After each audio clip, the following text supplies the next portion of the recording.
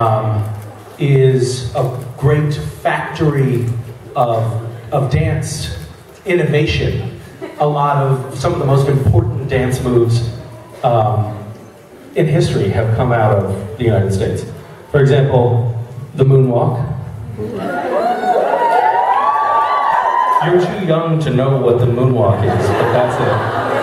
And then, um, and then, and then my personal favorite, which I will now teach you.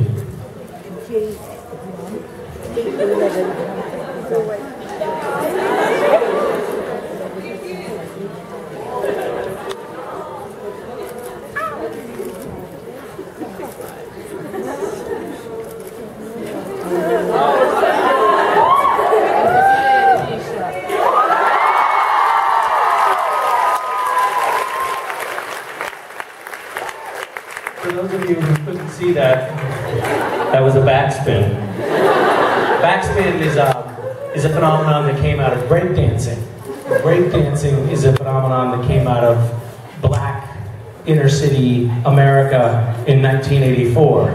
And in 1984, I was, while not black and not from a city, very cool. As I mean, I was a very cool kid.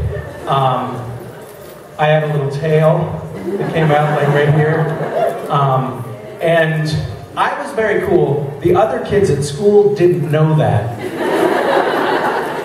They thought I was a really weird little geek that they didn't want to talk to. So, you know what that's like. It felt terrible.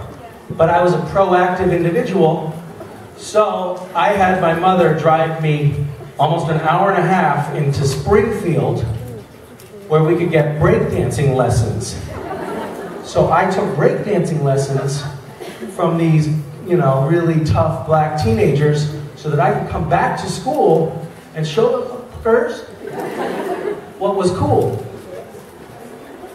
So I got a single Michael Jackson glove for just one hand, and I went to school with a piece of cardboard, because you need cardboard, that's why the backspin didn't work just there and I demonstrated, to show how cool it was, I demonstrated a backspin on a piece of cardboard with a single Michael Jackson glove on and a headband.